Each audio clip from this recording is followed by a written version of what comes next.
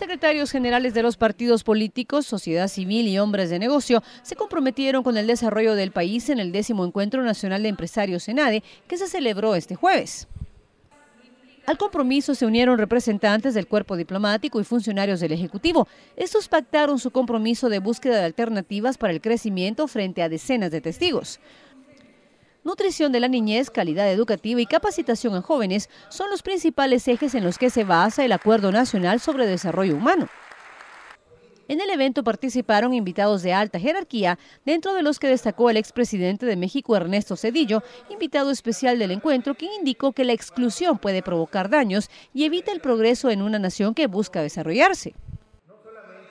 Tenemos que ser eh, honestos y realistas, que en países como el mío y en países como Guatemala ha habido amplios sectores de nuestras sociedades que por razones históricas, por razones estructurales y algunas veces por razones culturales, han sido excluidos de ese proceso.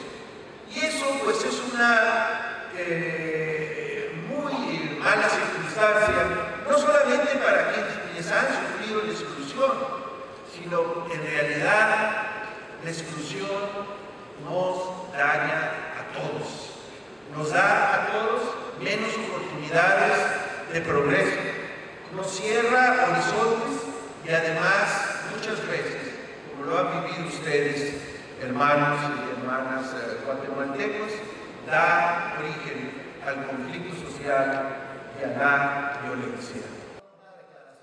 Sin divisiones multiplicamos, desarrollo humano y paz social fue el lema de los empresarios en el encuentro.